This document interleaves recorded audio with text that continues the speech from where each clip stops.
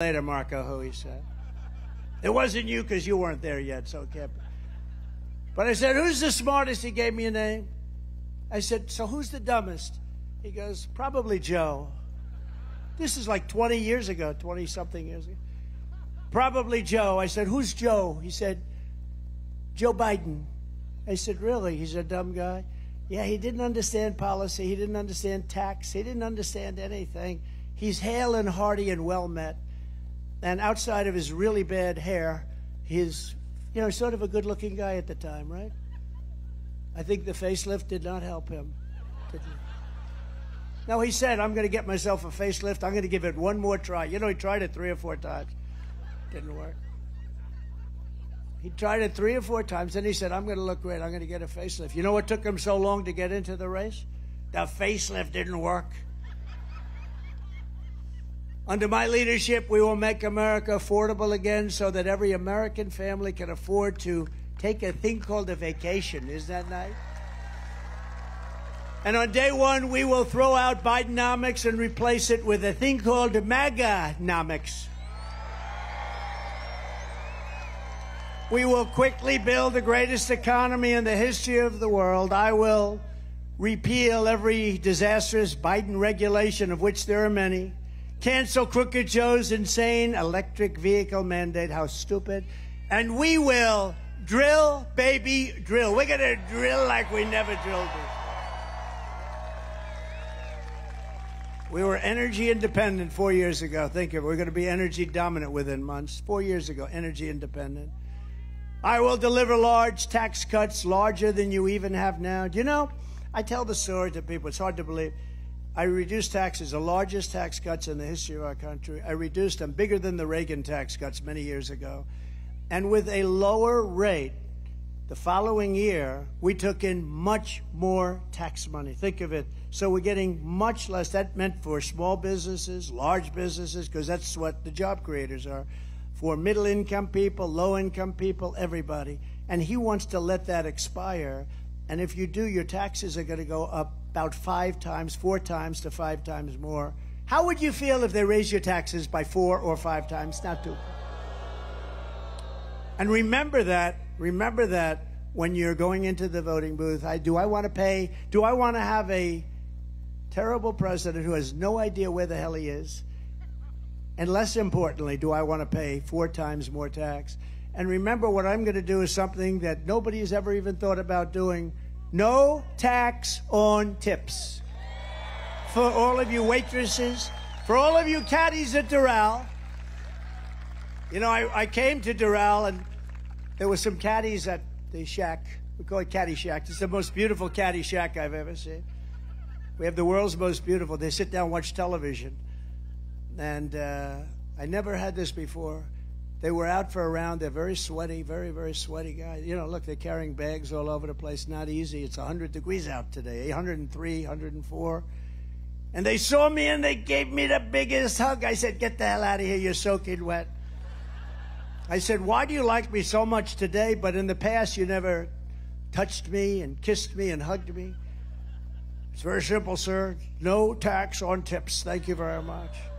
So for caddies, for waitresses, for I mean, it's tremendous, and it's a very complicated thing, frankly, uh, for the government to collect. But they've issued new rules and regulations that make it very bad for people. I, the reason I thought of this, I was in Nevada, where we're leading, by the way, a lot. We're up by like 14 points in Nevada. That's supposed to be a little bit Democrat territory, but we're leading in Nevada. And a waitress came over, beautiful waitress, and I never like talking about physics she's beautiful inside because you never talk about a person's look, ever. You never mention it. The other day, I got very angry. Some man called Chris Christie fat. And I said, Sir, and then he said he was a pig. I said, Sir, Chris Christie is not a fat pig. Please remember that. He is not a fat pig. Please take it back. And the guy's looking at me like, Really? No, we have to defend people. You can't call people fat. I said about nine times, he is not a fat pig. So every time you leave a tip for the next four months, because it's going to go into effect very quickly, make sure that you write on the receipt, vote Trump for no tax on trips. No tax on tips. That's a good one. No, but the waitress said, I said, How are you doing? She said, worked there a long time. Great person, beautiful person. And she said, Oh, it's brutal with the government, what they do to us. It's crazy. They come, you know, they put on 88,000 people to go and take advantage of people like that. And she said, It's brutal. I said, You know, I have a great idea. How about no tax on tips? That was the extent of my study. One waitress. But it's true. It made so much. Isn't it funny that nobody ever thought of that but me? Isn't that weird? But it's a great thing, and they deserve their money. They work hard for it. They deserve it. They deserve it. Marco, you're going to vote for it, I hope. Well, you may or may not be there to vote for but you'll be involved.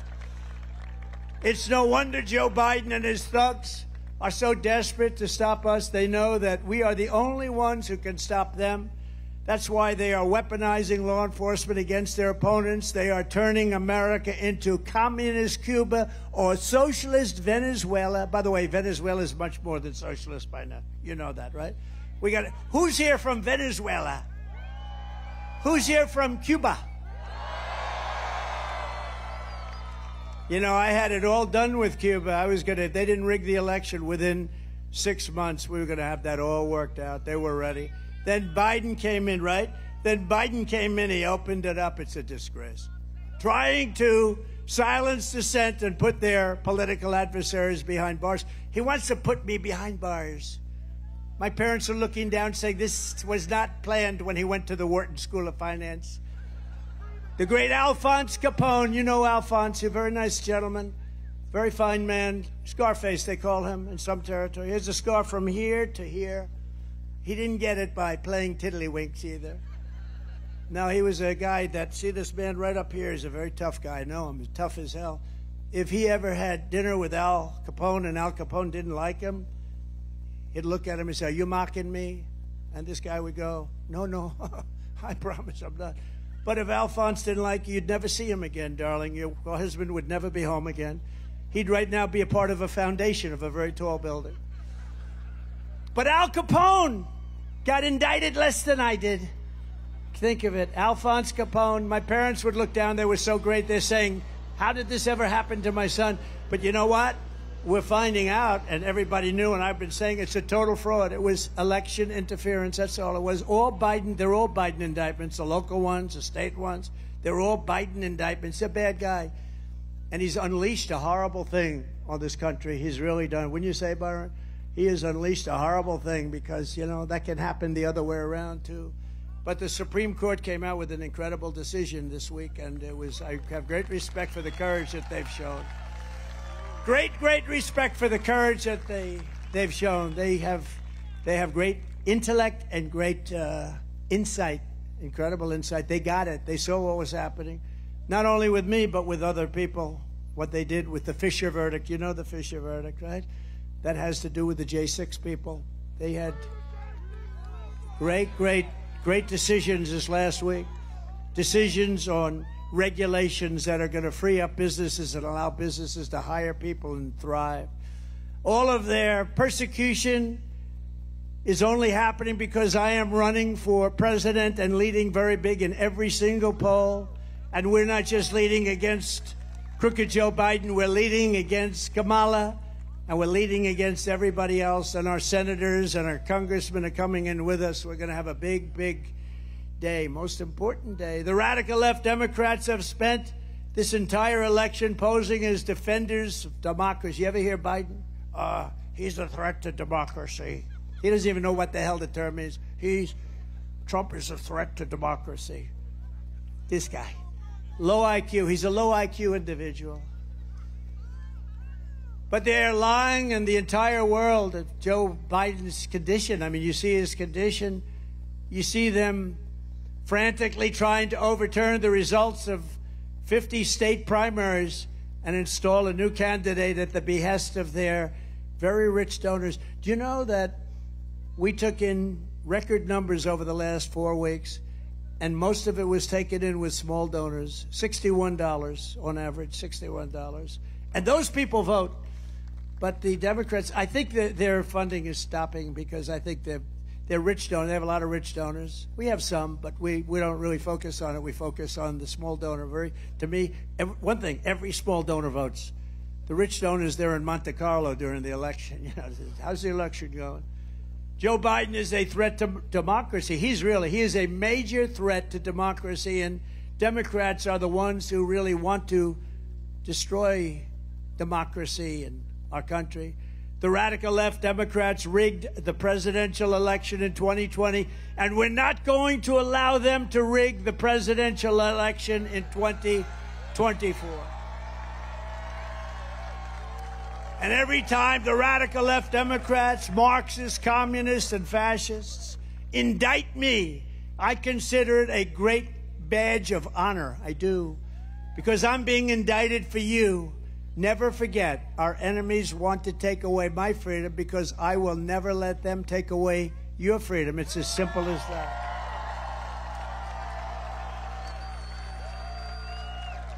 It's a lot of fun. It's a lot of fun being indicted. Thank you. I didn't know. What does it mean to be indicted? Thank you.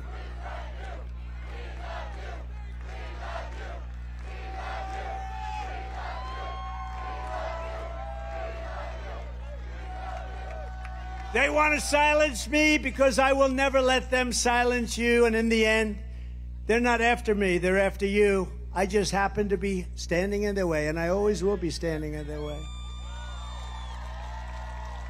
We're not going to let happen to our country what's happened to so many countries that many of you people were very much involved in through your parents and grandparents. You know what happened to so many of those countries.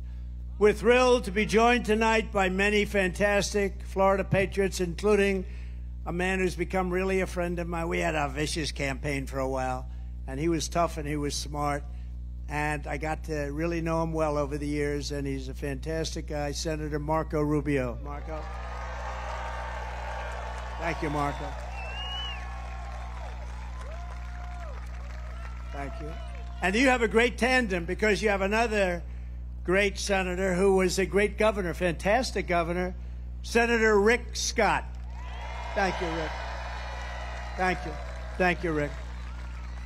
We have a lot of congressmen. Let's introduce it. What the hell else do we have to do, right? Should we introduce? And by the way, at the end, do you want the music or do you want no music? Music, ready? Music or no music? Ready? Who wants the music? Who wants a little bit quicker, no music? I think we have music tonight. Get the music ready. Get the music ready. We have some incredible, talented warriors, representatives. Corey Mills. Corey, thank you. Thank you, Corey. Great guy. Brian Mast. We love Brian. Thank you, Brian. Mike Waltz. Thank you, Mike. Doing great. A man I'm not going to get into a fight with him anytime soon. Byron Donalds, who's fantastic. His wife, by the way, is a true expert on education. I say, stay ready. Thank you, Donna. Thank you. Thank you, Donna, for being here. Appreciate it. Great, great person. Maria Salazar. Thank you, Maria. Great. Thank you very much. Carlos Jimenez. Carlos. Good man. Mario Diaz Balart. Thank you. Thank you. Great job. You have a fantastic lieutenant governor who's here, Jeanette Nunez. Jeanette, thank you very much. Thank you. Thank you, Jeanette. Thank you. And Florida State Senators Debbie Mayfield. Thank you. Thank you, Debbie. Thank you very much. Ileana Garcia. Thank you. Ana Maria Rodriguez. Thank you. Great people. State Representatives Jessica Baker, Randy Fine. Where's Randy Fine? Good. Thanks, Randy. Kevin Steele, Paula Stark, Juan Carlos Porras, Alina Garcia, David Borrero, Fabian Basabe. Fabian, thank you. Tom Fabricio. Thank you, Tom. Thanks, Tom. Vicky Lopez. A very good guy, fantastic person, great politician, frankly, but he loves the state. Incoming Speaker of the Florida House, Danny Perez. Thank you, Danny. Good job. Good luck, Danny. That should be an easy job. Good luck. And Alex Rizo. Thank you, Alex, very much. A person who I know personally does a fantastic job as the mayor of Doral, Christi Fraga. Thank you, Christi. Thank you, darling. Thank you. Great job. Appreciate it. Vice Mayor Oscar Pugue Carvey. Oscar, Vice Mayor. Thank you, Oscar. Councilwoman Digna Cabral. Thank you, Digna. Thank you very much. Sweetwater Mayor Jose Pepe Diaz. I've known him a long time. Pepe. Weston Mayor Margaret Brown. Thank you, Margaret. Well, we got a lot of politics. You have to, you no idea. I'm, I'm introducing about 25%. We did it by the luck of the draw. Miami-Dade County Commissioners Kevin Cabrera and J.C. Bermudez. J.C., thank you. Great people, great politicians, but good politicians. The next Miami-Dade County Sheriff, Rosie Cordero Stutz. Thank you, Rosie. Good luck. She has my endorsement. Right. Thank you. Thank you. Ambassador Carlos Trujillo. Carlos. Carlos Trujillo. Thank you, Carlos. Great job you're doing. A friend of all of ours, and a, uh, this woman is amazing. Laura Loomer. Where is she? Where's Laura? She is amazing. Felix Lasarte. Felix. Where is Felix? My lawyer. He's my lawyer. How am I doing? Am I getting the damn zoning done, Felix? He's doing a great job. And my sons, and we have one of my sons, this is the first time he's ever done it. First of all, one you know, and he's an incredible guy. He's very tough. He's very, very strong, great speaker, great talent. Donald Trump Jr.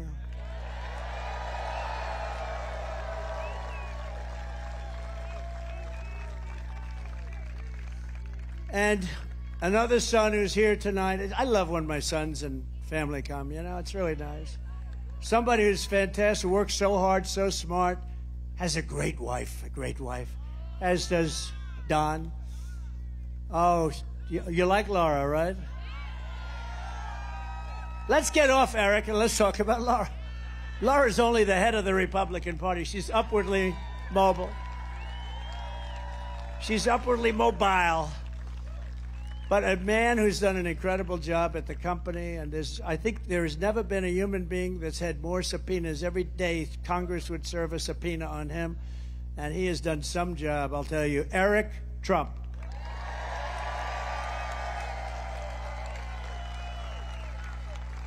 Thank you. Great job.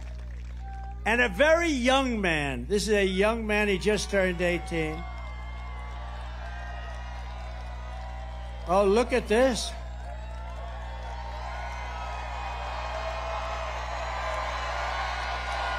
A very young man who's now going to college, got into every college he wanted to, and he made his choice. And he's a he's a very good guy, I'll tell you. You know, I'm not allowed to call them boy, but he is my boy. He's my boy. They're all my boys, right? When you have sons, they can be any age, they're your boy. They're always going to be. And he's a very special guy. Barron Trump. This is the first time he's ever done this. Barron.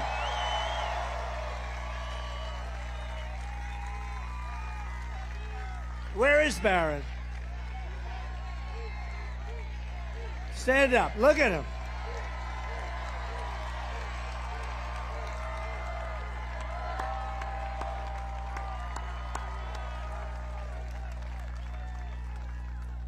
That's the first time he's done it. That's the first time, right? Hey, you're pretty popular. I, he might be more popular than Don and Eric. And we got to talk about this. Hey, Don, we got to talk about this, huh? All right. So, Barron, it's good to have you. Welcome to the scene, Barron. I don't know. He had such a nice, easy life. Now it's a little bit changed. Anyway, a special guy, right? Also, some grandchildren who are very talented. Uh, two of them are great golfers, really great golfers. You all know about Kai. Where's Kai? Kai. And a real little killer. She hits a long ball for her size. She can barely lift the club until she swings. She's, her swing is perfect. Chloe.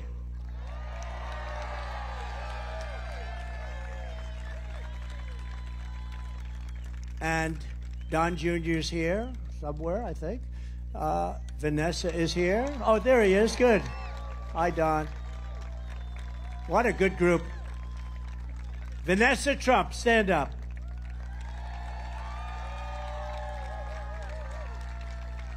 Thanks. Thank you, Don Jr. That's good.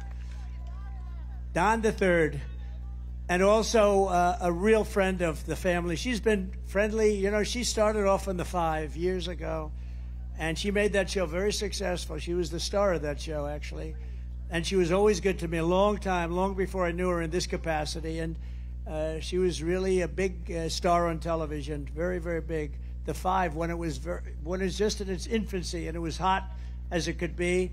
Kimberly Guilfoyle. Thank you, Kimberly. And she hasn't stopped. So thank you all for being here. And I know I didn't uh, introduce many, many congressmen and likes of others, but I think we have to get back to the business at hand. Is it too hot for anybody? No, not bad.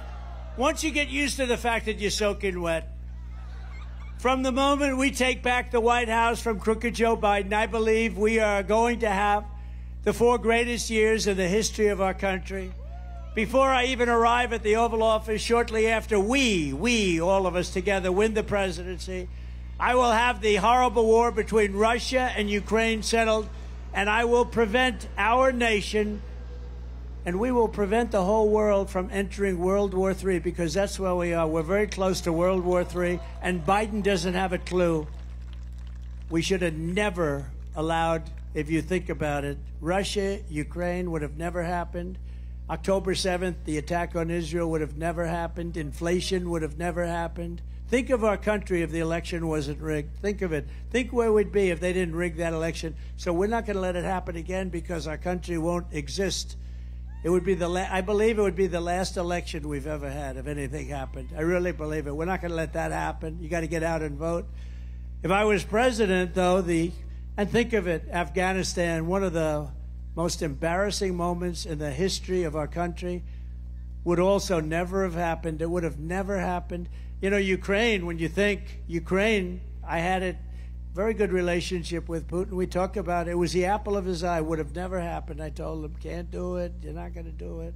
October 7th, the attack on Israel. I knew it so well. They had no money because the purveyor of funds was Iran, and Iran was broke. They had all sorts of sanctions. Nobody could buy. China couldn't buy. China was a massive buyer of oil from Iran. I said, if you buy from Iran, you can't do business in the United States, and they did very well in the United States. And they didn't buy nobody, but Iran was broke. They had no money for Hezbollah. They had no money for Hamas. And we had no terror. You know, I always wanted to talk about it when I was president. I was three years in, three and a half years in. I said, I want to just brag a little bit. I want to say that we had no terror. There were no terror attacks in four years, but I wanted to brag about it. But I wanted to wait till I got out, and now I brag about it all the time. We had very few terrorists allowed into our country. We had a year 2019 where the charts come out, how many terrorists enter the country. Now, I think they're wrong because I can't believe it, but they actually had no terrorists, zero terrorists came in 2019. That was a Trump year. Now we have thousands and thousands of terrorists pouring into our country from all over the world, and they're the worst terrorists in the world. They're the biggest and the worst, and we got them living in our country. They actually put down 2019, Trump, no terrorists, zero. I don't believe that. but that's what they have. And that was done by Border Patrol and others, State Department. I'll take it. I don't believe it, but it was very close to nothing. And they actually have zero terrorists came into our country. We were tough on it. And we would not have Russian warships and nuclear submarines surrounding Cuba 60 miles off our coast. You know that, right? For all of you people in Cuba, congratulations. You're now being protected by Russia. Congratulations. Can you imagine that the press, the fake news, those people, they don't even talk about. It. We have nuclear submarines and five warships in Cuba, and they don't even talk about it. If that happened to me as president, it would be the biggest story every single day. But they don't talk about it because they're fake and corrupt news.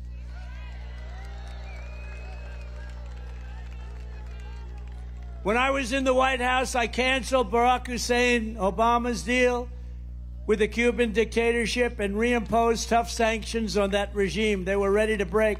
They were all set, and then we had the election taken away, robbed, rigged. Joe Biden has gone weak and soft on Cuban communists, as you know. You know better than anybody, so many of you here. And he's abandoned the brave Cuban dissidents while the Cuban people are suffering, starving, and dying. In Cuba, would have been all solved very quickly. As president, I will again stand with the people of Cuba in their long quest for justice, liberty, and freedom. In my next term, we will build a great iron dome over our country, a dome like has never been seen before, a state of the art missile defense shield that will be entirely made in the USA right here in right here in your state right here in Florida, we'll build a big section. You have a lot of defense. We moved a lot of companies into Florida for defense purposes. I will not cut one penny from Social Security or Medicare, and I will not raise the retirement age by one day. Biden is going to do that because he's allowing these people that come in to go on to Social Security and Medicare, to go into the hospitals. And, you know, we want to be nice. But no country can sustain this. No country can sustain it. I kept that promise for four straight years, and I will keep it again. We have plenty of other resources. We're not going to touch Social Security or Medicare. If the millions of Biden migrants became citizens, Medicare and Social Security will be gone. They'll be gone. They'll be gone. We're going to rebuild our cities into beacons of hope, safety, and beauty better than they have ever, ever, ever been before we will take over the horribly run capital of our nation in Washington, D.C., and clean it up, renovate it, and rebuild our capital city so that it's no longer a nightmare of murder and crime, but rather it will become the most beautiful capital anywhere in the world. Right now, if you leave Florida, oh, let's go, darling. Let's look at the Jefferson Memorial. Let's look at the Washington Monument. Let's go and look at some of the beautiful scenes and you end up getting shot, mugged, raped. We're going to take over our capital and we're going to run it tough and smart and we're going to beautify it. We're going to get all the graffiti off the marble. We're going to fix the roads and the medians, which are falling down all over the streets. We're going to make our capital beautiful again. We're going to do the same thing with our cities, even though Democrat run. We're going to work with Democrat governors and mayors if we have to. On day one, I will sign a new executive order to cut federal funding for any school pushing critical race theory, transgender insanity, and other inappropriate racial, sexual, or political content onto the lives of our children. And I will not give one penny to any school that has a vaccine mandate or a mask mandate. And I will keep men out of women's sports. Can you imagine? Can you imagine even having to say that? I will fully uphold the Second Amendment. We will protect innocent life and we will restore free speech in our country. And I will secure our elections once and for all. Our goal will be one day voting with paper ballots, proof of citizenship, and voter ID. Very simple. But until then, Republicans must win. You must get out and vote. We want a landslide, and let's call it this too big to rig. Too big to rig. Thank you. Look at all the front row Joes. Oh, wow. Wow, they've, they've been to like 200 rallies. Thank you very much. It's a great honor to have you. Great. It's a great honor. These are real patriots. They make a lot of money, I guess, because they're at every rally. I go to